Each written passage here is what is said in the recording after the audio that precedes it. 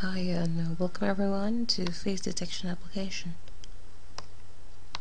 Okay, so this face detection is a live face detection based off the camera capture.cs application we made earlier in a post.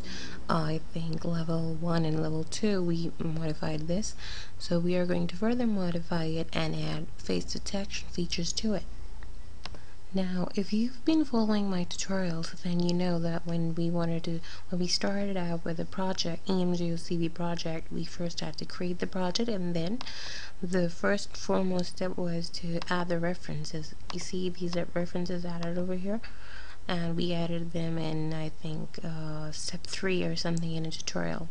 Anyhow, you can just check it out where it is. You'll find it in level 1.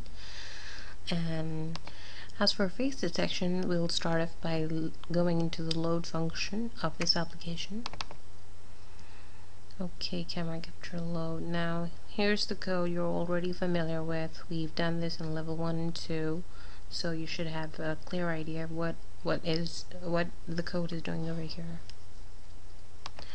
Uh, I think you've read my topic on getting ready for face detection. That uh, topic covers basically all the good things, the basics you need to know for face detection. Now once you've read that, it's time to start implementing it. So as I already mentioned over there in the articles, it's written that Haar cascade, Viola Jones method uses Haar cascades for face detection. So right now we're going to use those Haar cascades Thanks to the references we added earlier over here, the Haar cascade will appear to be as a user-defined um, user-defined uh, data type. So let's just declare one over here, private Haar cascade. There it is. Select this, double click, and let's call it har. Now I'm going to add a note to it so that we remember what it is.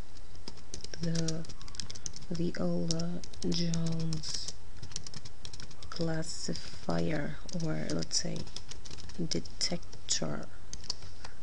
Okay, now that we have uh, declared an object of Haar cascade, we're going to use this for face detection. Now, the first thing is that when the program loads, we want to load the cascade, uh, the cascade, the detector into this object.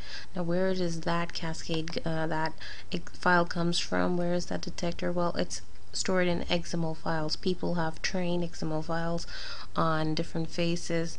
Um, I mean, different they've used the different databases for detecting various faces. And I, uh, we'll see that where the XML file